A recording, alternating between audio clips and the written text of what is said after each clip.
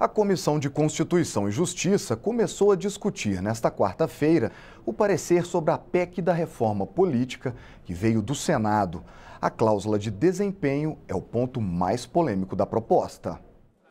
O objetivo da proposta de reforma política aprovada pelo Senado é reduzir o número de partidos.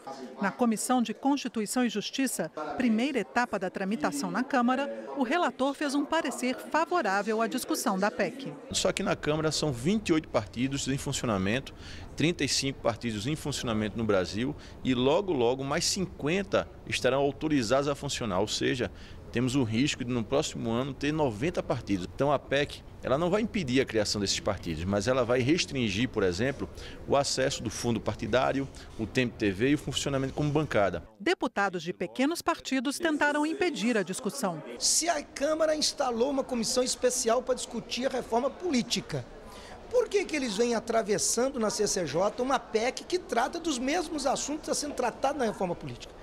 Então, a princípio, ela não deveria nem estar tramitando aqui. Mas os requerimentos foram derrotados e a discussão da proposta prosseguiu. Ela é a nossa única chance de produzir uma mudança para a eleição de 2018. O ponto mais polêmico da proposta é a recriação da chamada cláusula de desempenho, que exige um número mínimo de votos para o partido ter lugar no Congresso e receber o fundo partidário. É a monopolização da vida política nacional por seis ou sete grandes partidos. Em relação à federação e ao fim da coligação, o PCdoB vota favorável. A nossa discussão é apenas em relação à cláusula de desempenho. O deputado Marcos Rogério, do Democratas de Rondônia, apresentou um voto em separado contrário à proposta. Em seguida, a reunião foi suspensa com o início da ordem do dia no plenário. A discussão continua nessa quinta-feira.